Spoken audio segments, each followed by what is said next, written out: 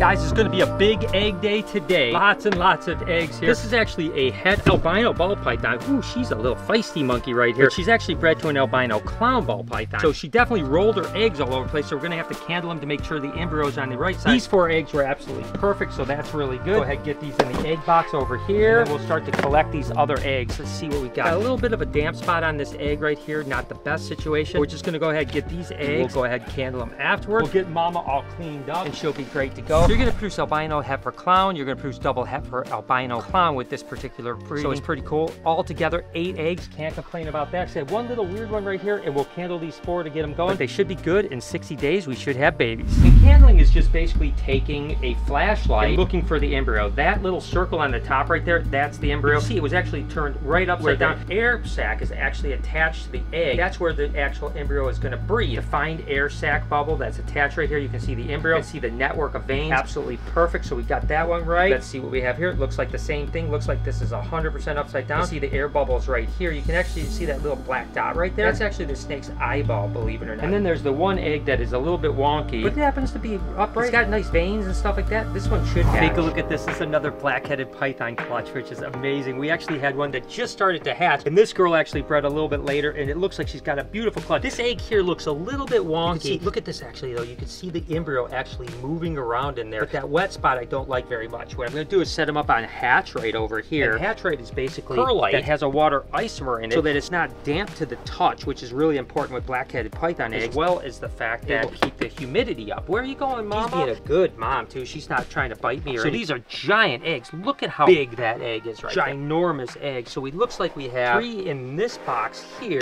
Okay, we'll get her all cleaned up and get her ready to go. She's going to be happy. We've got two, four, five, six, seven, eight beautiful black-headed python eggs. Now, these guys hatch in about 60 days. Where are you going, mama? On, girl. Get on over here. You're okay. So about 60, 65 days from now, we're going to have maybe six, seven, eight more baby black-headed pythons. Wow, what a year it's been. From producing no black-headed pythons to hatching near a dozen. Yes, I still have the occasional normal ball python around. They're just nostalgic, right? Like, it's kind of cool. This was actually bred to a pretty cool male. Looks like she's got some beautiful eggs on it. Let's check the boy out. An Enchi Lemon Blast Extreme Gene. So basically, it's got Enchi, it's got pinstripe, it's got pastel, it's got extreme gene in it. So should be some pretty nice babies. Back to mama, we'll get her all cleaned up after this. Typically what ends up happening is just before they lay, we don't really mess with them too much. The last week or two before they're due to lay, we don't clean their cage unless it's really, really messy. This girl unfortunately has some slugs. These are five infertile eggs. They obviously look very different than these eggs here. These are infertile. Why they're infertile, I'm not 100% sure. Sometimes it's the female, sometimes it's the male, sometimes it could be temperature, but uh, it does happen. So far this year, we've had really good success when it comes to fertility. We only have two, four, five good eggs right here. So basically, it was a 50-50 clutch. We had 50% of the eggs, 50% infertile. Get these in the incubator, they'll be ready to cut in about 57 days. And more eggs, that's right. This one is actually really interesting. Ooh, she's leaving the eggs, but look at how pretty that is. That's actually an Enchi female. Holy cow, that thing, ooh, don't bite me. It's okay, girl. She does have a couple slugs in here, but overall, the clutch looks pretty good. Just gonna kind of move her off her eggs. Like I said, looks like we've got just three little sluggers right she's here. She's actually bred to a Dragonfly Vanilla Bamboo, so that with this Enchi, gonna be ridiculous. Again, we're gonna get mama all cleaned up, and she's gonna be really happy, and she's being a good protective mama. She's doing really good, but she hasn't bit me, which is really nice. Looks like we got a bunch of really beautiful eggs here. Let's go ahead and set this aside for a second. Again, we always say, whoa, come on, mama, whoa, hey now, calm down. Once we get her cleaned up and bathed and stuff like that, she'll kind of lose that egg defense where she's just like being a good mama, right? She's trying to protect her eggs, and that's completely fine. Four, six, seven beautiful eggs right here. Lots of potential combinations. I mean, you've got just tons of stuff. That's like seven different genes that you've got going into each one of these eggs. So we could produce some really wicked stuff here. Another 57 to 60 days.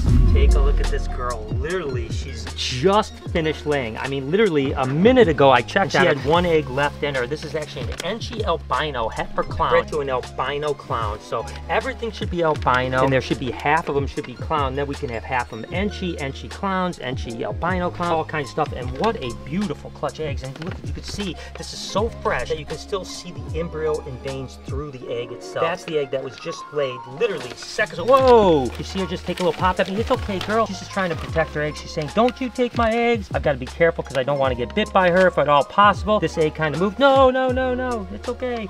Oh, oh, gosh, she's a feisty little monkey right there. So I can see the embryo right here. It did roll, but we can just set that right on top right here. We know this egg is good. And because these are so fresh, we know that the embryos are on top. And also when they're really fresh, you can tear them apart really easy. Look how easy these eggs come apart. They're very pliable. They actually stick together and they stick together so that they don't roll around, right? Because again, if an egg is rolling, it's gonna actually potentially drown. Four, six, eight, nine gorgeous eggs. Oh my gosh, that's a beautiful clutch of eggs. More ball python eggs. This is a great clutch here. We had actually the same clutch last year and I produced some crazy babies. This is actually a Cine Lesser. Love it. Good eggs, absolutely incredible, but it was bred to a Super Lori Leopard. That's right, Super Lori Leopard bred to a Cine Lesser. The clutch last year, we had like five eggs last year and they were absolutely crazy. Every baby was crazier than the other. This is also the one that we produced the white snake, the black-eyed leucistic, which is really unusual because it doesn't make a lot of sense, right? Lories have never produced leucistic. This is a lesser complex, which have blue-eyed leucistic, but we produced black-eyed leucistic from that clutch, one of them, but they were just crazy. But this year we have two, four, six eggs, so we have one more egg than we had last year. I'm telling you, I was excited for this clutch. I'm so happy that they're all firm. This is a good one here too. This is actually a double het albino clown yellow belly bred to an albino clown. And that albino clown has been doing good. We've got a couple clutches from them and they've all been really fertile, doing good. So far this year, I don't want to jinx myself, but wow, I tell you what, our fertility has been good. We had that one clutch earlier that was 50-50 and a couple other slugs, but the majority of the eggs that we've been producing this year have been fertile, which is just absolutely incredible. And again, this is going to be some cool stuff here because if we could do some albino clown yellow belly, something I haven't really seen, I think it'd be really neat, right? Let's go ahead and get these in the box here. Probably move this one egg right here. Looks like these have laid pretty quickly, so they're coming apart super easy. So I'll just put that right there and look at what we got. We got two, four, six, eight, nine gorgeous eggs. I tell you what, this year started off awesome. This is actually a pinstripe female, a really beautiful one, really reduced. It was bred to a banana GHI Mojave. I remember when we hatched the banana GHI Mojave, I was so excited. So this combination could be pretty interesting. This is the first clutch that the male ever fathered, so let's see if they're fertile. Absolutely fertile. We looks like we've got a couple little slugs, one little bugger here, and one little bugger over here, and then we've got a boob egg as well that looks like it's got a little bit of a, a nodule on it on the end there, but we'll take away this slug right here. The rest of the clutch looks really, really good. And like I said, I was super excited that this male actually fathered a handful of clutches. It looks like he's gonna father, but this is the very first one that it did. GHI Mojave Banana Pinstripe absolutely incredible. We have two four, six, seven eggs. Okay, this is the first clutch that we have from our mimosas. This is actually a het for ghost, and a mimosa is a ghost champagne, right? So half these should be actually ghost, half of them should be champagne. The combination should get some champagne ghosts and stuff like that, which will be good, which are called mimosas. Looks like a beautiful clutch of eggs. Look at that. Oh, one little slugger here, which is completely fine, but boy, oh boy, that is a beautiful, that's what you want to see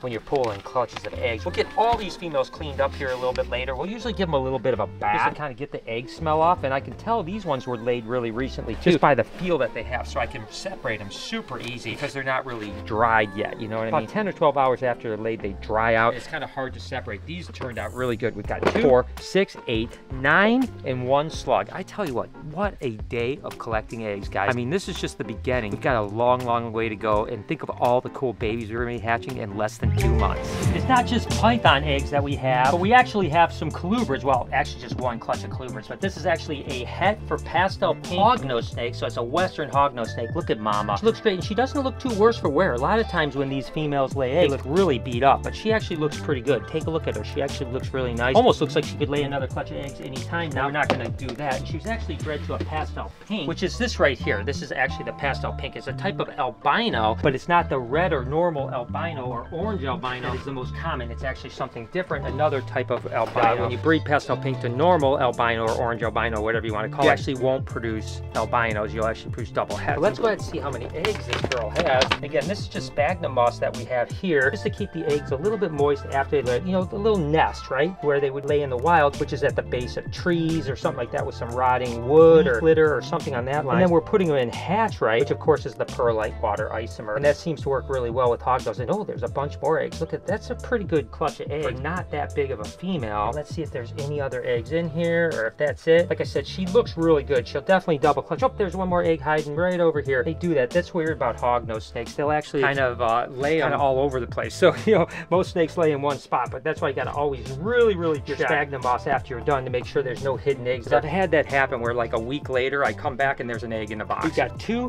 four, six, seven beautiful eggs. Now, hognose hatch in about 45 to 50 days, so these guys hatch pretty quick. So we're gonna have little babies. We're gonna have pastel pinks and pastel pinks hatching from it. That's pretty awesome. I mean, what a day for eggs. Hope you guys enjoyed today's video. If you did, there's a playlist that you can watch all kinds of videos. You can also hit that subscription button. It would mean a lot to me. Also, hit that like button while you're down there. Have a wonderful day, Reptile Army. Remember, be kind to someone, and I promise I'll see you in the next one.